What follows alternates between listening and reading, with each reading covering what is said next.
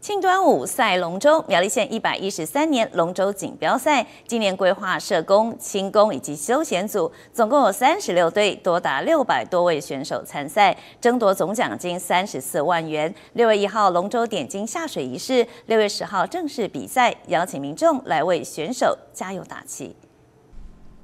抵达终点，奋力夺标。苗栗县一百一十三年端午节龙舟锦标赛，龙舟传情在竹南。端午节当天，将在竹南镇港前里龙舟码头热闹登场，延续传统民俗龙舟下水祈福仪式。六月一号开光点睛。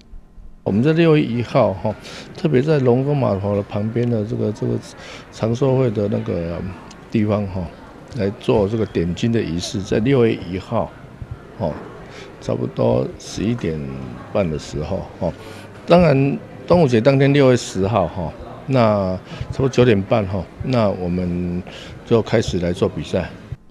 因应龙舟舵手能力逐渐凋零，今年除了赛前办理舵手训练营之外，参赛队伍部分也做调整，将学生组合并到休闲组。另外较为激烈的社会组十二队，轻工组八队，总共有三十六队，角逐总奖金三十四万元。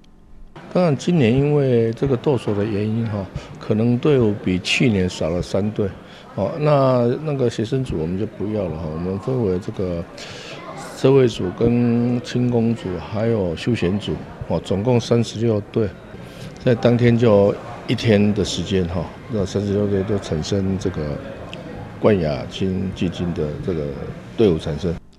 届时将会有六百多名的选手齐聚竹南请端午，民众不妨携家带眷来龙舟码头提防旁观赛，主舞台摊贩区还能解馋吃美食，亲自闯关游戏等，一同感受竹南独特的滨海风情。